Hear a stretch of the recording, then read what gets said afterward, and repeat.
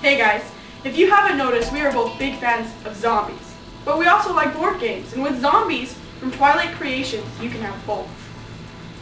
Okay, here's how it works. Every turn you lay down a new piece of the city along with more zombies. Using the dice, you'll do battle with hordes of the undead. To help the players out, every player has a hand of cards that they can use. These cards include such things as chainsaws, shotguns, health kits, even cards to screw your opponents. The objective is to make it to the helipad and escape, or kill 25 zombies. If you die, you get sent back to the center of town, plus you lose half your zombies. Now the game does drag a bit with more than two players. Depending on how many people you've got, the games can take somewhere between 30 minutes to over an hour. But it's definitely unique, and it's fun. Plus, aren't these tiny zombies awesome? As you probably guessed, this game is gory and not intended for children.